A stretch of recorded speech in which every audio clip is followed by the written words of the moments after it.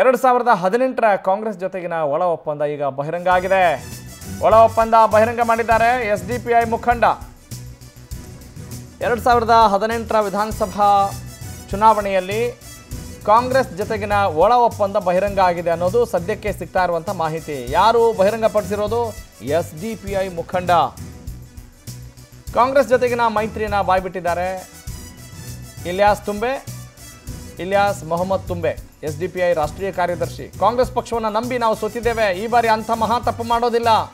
ಎರಡು ಸಾವಿರದ ಇಪ್ಪತ್ತ್ಮೂರರ ಚುನಾವಣಾ ಕಣದಿಂದ ಈ ಬಾರಿ ನಾವು ಹಿಂದೆ ಸರಿಯೋ ಪ್ರಶ್ನೆನೇ ಇಲ್ಲ ಅಂಥೇಳಿ ಎಸ್ ಡಿ ಪಿ ಐ ರಾಷ್ಟ್ರೀಯ ಕಾರ್ಯದರ್ಶಿ ಇಲಿಯಾಸ್ ತುಂಬೆ ಒಂದು ಸ್ಫೋಟಕ ಹೇಳಿಕೆಯನ್ನು ಕೊಟ್ಟಿದ್ದಾರೆ.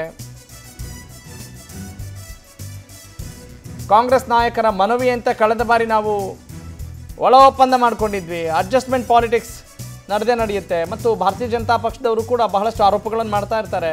ಫ್ರೀಡಮ್ ಆಪ್ ಅಲ್ಲಿ ಕಲ್ತು ಟೆರಕೋಟಾ ಜ್ಯುವೆಲರಿ ಮಾಡ್ತಿದ್ದೀರಾ? ಹಾಗಾದ್ರೆ ನಿಮ್ಮ ಟೆರಕೋಟಾ ಜ್ಯುವೆಲರಿಗಳನ್ನ ಒಂದು ಕೋಟಿಗೂ ಹೆಚ್ಚು ಫ್ರೀಡಮ್ ಆಪ್ ಬಳಕೆದಾರರಿಗೆ ಯಾವುದೇ ಖರ್ಚಿಲ್ಲದೆ ಮಾರಾಟ ಮಾಡಿ. ನೋಡ್ರಿ ಎಸ್ ಡಿ ಪಿ ಐ ಜೊತೆ ಒಳ್ಳೆಯ ಅವಿನಾಭಾವ ಸಂಬಂಧವನ್ನು ಕಾಂಗ್ರೆಸ್ ಇಟ್ಕೊಂಡಿದೆ ಅನ್ನೋ ಆರೋಪ ಮಾಡ್ತಾ ಇತ್ತು. ಈ ಬಾರಿ ನಾವು ಎಲ್ಲ ಕಡೆ ಸ್ಪರ್ಧೆ ಮಾಡೋದು ಖಚಿತ. ಬಂಟ್ವಾಳ ಕ್ಷೇತ್ರದಿಂದ ಕಣಕ್ಕಿಳಿಯಲಿರುವ ಇಲಿಯಾಸ್ ತುಂಬೆ ಈ ಮಾತುಗಳನ್ನು ಆಡಿದ್ದಾರೆ. ಅದು ಇಷ್ಟ- ಇಷ್ಟರವರೆಗೆ ನಾವು ಅಂತ ಒಂದು ಮಾಡಿದ್ದು ನಮಗೆ ರಾಜಕೀಯದ ಒಂದು ಪ್ರಬುದ್ಧತೆ ಕೊರತೆ ಅಂತ ಹೇಳ್ಬೋದು. ಹಾಗೆ ಆಗಿದೆ. ಆದ್ರೆ ಇನ್ನೂ ಆಗಿಲ್ಲ. ನಾವೆಲ್ಲ ರಾಜಕೀಯವಾಗಿ ಚೆನ್ನಾಗಿ ಕಲಿತಿದ್ದೀವಿ. ಒಮ್ಮೆ ಘೋಷಣೆ ಆದ ನಂತರ ಹಿಂತೆಗೆಯುವಂಥದ್ದು ಅಥವಾ ನಾಮಪತ್ರ ಹಿಂಪಡೆಯುವಂಥದ್ದನ್ನ ಅದು ನಮ್ಮ ಪಾಲಿಸಿಯಲ್ಲೇ ಇಲ್ಲ. ಕಳೆದ ಸಲ ನಾವು ಯಾಕೆ ಹಿಂಪಡೆದು ಅಂತ ಹೇಳಿದ್ರೆ, ನಾವು ಕಳೆದ ಐದು ವರ್ಷದ ಹಿಂದೆ, ಕಳೆದ ವಿಧಾನಸಭಾ ಚುನಾವಣೆಯಲ್ಲಿ ಇಪ್ಪತ್ತೈದು ಕಡೆಯಲ್ಲಿ ಸ್ಪರ್ಧೆ ಮಾಡಬೇಕಂತ ತೀರ್ಮಾನ ಮಾಡಿ ಕೆಲವೊಂದು ಘೋಷಣೆ ಕೂಡ ಆಗಿತ್ತು. ಬಂಟ್ವಾಳ ಸಮೇತ. ಆದರೆ ಲಾಸ್ಟ್ ಮೂಮೆಂಟ್ಗೆ ನಮ್ಮ ಈ ಎಲ್ಲ ಕಡೆಗಳಲ್ಲಿ ಬಹಳ ಬಿರುಸಿನಿಂದ ನಮ್ಮ ಪ್ರಚಾರ, ನಮ್ಮ ಪಕ್ಷ ಸಂಘಟನೆ ಕಾಣ್ತಾ ಇರುವಾಗ ನಮ್ಮ ಕೆಲವು ಮುಸ್ಲಿಂ ನೇತಾರರು ಮತ್ತು ಕಾಂಗ್ರೆಸ್ನ ಕರ್ನಾಟಕ ರಾಜ್ಯದ ದೊಡ್ಡ ದೊಡ್ಡ ಹಿರಿಯ ತಲೆಗಳು ಅದರ ಹೆಸರು ನಾನು ಹೇಳಲಿಕ್ಕೆ ಬಯಸ್ತಿಲ್ಲ ಅವರು ನಮಗೆ ಪರ್ಸನಲ್ ಆಗಿ ಒಂದು ರಿಕ್ವೆಸ್ಟ್ ಮಾಡಿದರು. ದಯವಿಟ್ಟು ಈ ಸಲ ನೀವೊಂದು ಪಿ ಬರ್ತದೆ. ಬಿ ಜೆ ಪಿ ಬರಬಾರ್ದು ಅಂದರೆ ನಮಗೆ ನಾವು ನೀವು ನೀವು ನಾವು ನೀವು ಸೇರಿ ಒಂದು ಮೈತ್ರಿ ಮಾಡೋಣ. ಓಪನ್ ಮೈತ್ರಿ ಅಲ್ಲ ಒಂದು ಅಂಡರ್ಸ್ಟ್ಯಾಂಡಿಂಗ್ ಮಾಡೋಣ. ನೀವು ಮೂರು ಜಾಗದಲ್ಲಿ ಕಂಟೆಸ್ಟ್ ಮಾಡಿ. ಬಾಕಿ ಉಳಿದ ಜಾಗದಲ್ಲಿ ನಾವು ಮಾಡ್ತೀವಿ. ನಿಮಗೆ ಮೂರು ಜಾಗದಲ್ಲಿ ನಾವು ಸಂಪೂರ್ಣವಾಗಿ ಬೆಂಬಲ ಕೊಡ್ತೀವಿ. ಹೇಗೆ ಬೆಂಬಲ ಕೊಡ್ತೀವಿ ಅಂತ ಹೇಳಿದ್ರೆ ದುರ್ಬಲವಾದ ಕ್ಯಾಂಡಿಡೇಟ್ ಇಲ್ಲ. ಅದು ಇಷ್ಟ- ಇಷ್ಟರವರೆಗೆ ನಾವು ಅಂತ ಒಂದು ಮಾಡಿದ ನಮಗೆ ರಾಜಕೀಯ ಗಿರಿಧರ್ ಶೆಟ್ಟಿ ನನ್ನ ಸಹೋದ್ಯೋಗಿ ದಕ್ಷಿಣ ಕನ್ನಡ ಜಿಲ್ಲಾ ಪ್ರತಿನಿಧಿ ಮತ್ತಷ್ಟು ಮಾಹಿತಿ ನೀಡ್ತಾರೆ.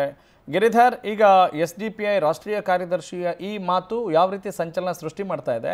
ಇದು ಕಾಂಗ್ರೆಸ್ಗೆ ಈ ಬಾರಿ ಏನಾದರೂ ಡ್ಯಾಮೇಜ್ ಆಗುತ್ತಾ? ಇವರ ಈ ಒಂದು ಹೇಳಿಕೆ ಅಥವಾ ಭಾರತೀಯ ಜನತಾ ಪಕ್ಷದವರಿಗೆ ಅಥವಾ ಎದುರಾಳಿ ಪಕ್ಷಗಳಿಗೆ ಇದು ಯಾವ ರೀತಿ ಸಪೋರ್ಟಿವ್ ಸ್ಟೇಟ್ಮೆಂಟ್ ಅಂತ ಅನ್ಸುತ್ತೆ? ನಾವು how can we consider this ಇದನ್ನ ಯಾವ ರೀತಿ ಗಣನೆಗೆ ತೆಗೆದುಕೊಳ್ಬೇಕು ಅಂತ ಬಯಸ್ತೀರಿ?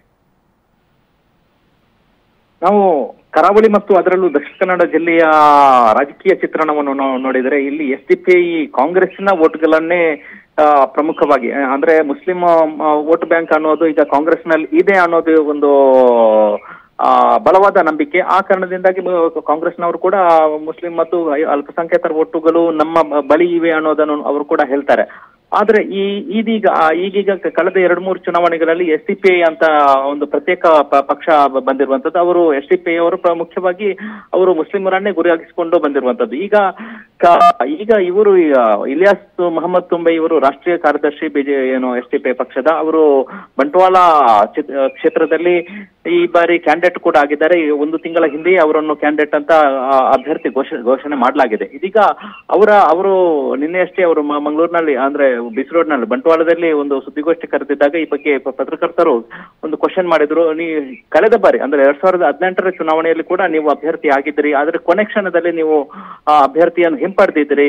ಈ ಕಾರಣದಿಂದಾಗಿ ಈ ಬಾರಿಯೂ ಕೂಡ ಅಂತಹದ್ದೇ ಮರುಕೊಳಿಕೆ ಆಗಬಹುದಾ ಅನ್ನೋ ಒಂದು ಕ್ವಶನ್ ಮಾಡಿದ್ರು. ಆ ಸಂದರ್ಭದಲ್ಲಿ ಅವರು ಹೇಳಿದ, ಹೇಳಿರುವ ಒಂದು ಸ್ಪಷ್ಟನೆ, ಒಂದು ಕಾಂಗ್ರೆಸ್ ನಾಯಕರ ಬಗ್ಗೆ ಒಂದು ಅವರ ಅವರ ಬಗ್ಗೆ ಒಂದು ಪ್ರಶ್ನೆ ಮಾಡುವಂತಾಗಿದೆ. ಯಾಕಂದ್ರೆ ಕಳೆದ ಬಾರಿಯ ಚುನಾವಣೆಯಲ್ಲಿ ಎಸ್ ಟಿ ಅನ್ನು, ಎಸ್ ಟಿ ಜೊತೆಗೆ ರಾಜ್ಯದ ಒಂದು ಪ್ರಮುಖ ಕಾಂಗ್ರೆಸ್ ನಾಯಕರು ಮಾತುಕತೆಗೆ ಬಂದಿದ್ರು. ಅನಂತರ ಬೆಂಬಲವನ್ನು ಕೂಡ ಕೋರಿದ್ರು. ಆ ಕಾರಣದಿಂದಾಗಿ ನಾವು ಅಭ್ಯರ್ಥಿಯನ್ನು ಹಿಂಪಡೆದಿದ್ದೆವು ಅನ್ನೋ ಒಂದು ಸ್ಪಷ್ಟನೆಯನ್ನು ನೀಡಿದ್ದಾರೆ. ಹಾಗಾಗಿ ಎಸ್ ಮತ್ತು ಕಾಂಗ್ರೆಸ್ ಈ ಬಾರಿಯೂ ಚುನಾವಣೆಯಲ್ಲೂ ಕೂಡ ಮೈತ್ರಿ ಮಾಡ್ಕೊಳ್ತಾರಾ ಅನ್ನೋದು ಒಂದು ಕುತೂಹಲದ ಪ್ರಶ್ನೆ ಅಂತಲೇ ಹೇಳಬೇಕಾಗತ್ತೆ. ಅದರಲ್ಲೂ ಕೂಡ ಕರಾವಳಿಯಲ್ಲಿ ಕಳೆದ ಬಾರಿ ಎಸ್ ಸಿ ಪಿ ಆ, ಹಲವು ಕೊಲೆ ಸರಣಿಗಳಿಗೆ S C P S C ಕಾರಣ ಆಗಿತ್ತು ಅನ್ನೋದನ್ನು ಪ್ರಮುಖವಾಗಿ ಬಿಜೆಪಿ ನಾಯಕರು ಹೇಳ್ಕೊಂಡು ಬಂದಿದ್ರು. ಅದನ್ನು ಈ ಬಾರಿ ಕೂಡ ಹೇಳ್ತಾರೆ. ಆ, ಯಾವ ಕೊ- ಕೊಲೆಗೆ, ಕೊಲೆ ಸರಣಿಗಳಿಗೆ ಎಲ್ಲ ಕೊಲೆ ಕರಾವಳಿಯಲ್ಲಿ ಆಗಿದ್ದಂತಹ ಬಿಜೆಪಿ ಕಾರ್ಯಕರ್ತರ ಕೊಲೆಗಳಿಗೆ ಎಸ್ ಸಿ ಪಿ ಕಾರಣ. ಮೊನ್ನೆಯಷ್ಟು. ಈ ಸುಳ್ಯದಲ್ಲಿ ಪ್ರವೀಣ್ ನೆಟ್ಟಾರ್ ಕೊಲೆ ಆಗಿತ್ತು. ಅದರಲ್ಲೂ ಕೂಡ ಎಸ್ ಪಿ ಕಾರ್ಯಕರ್ತರನ್ನು ಈಗ ಅರೆಸ್ಟ್ ಮಾಡಲಾಗಿದೆ. ಫ್ರೀಡಮ್ ಆಪ್ ಅಲ್ಲಿ ಕಲ್ತು ಟೆರಕೋಟಾ ಜ್ಯುವೆಲರಿ ಮಾಡ್ತಿದ್ದೀರಾ? ಹಾಗಾದ್ರೆ ನಿಮ್ಮ ಟೆರಕೋಟಾ ಜ್ಯುವೆಲರಿಗಳನ್ನ ಒಂದು ಕೋಟಿಗೂ ಹೆಚ್ಚು ಫ್ರೀಡಮ್ ಆಪ್ ಬಳಕೆದಾರರಿಗೆ ಯಾವುದೇ ಖರ್ಚಿಲ್ಲದೆ ಮಾರಾಟ ಮಾಡಿ.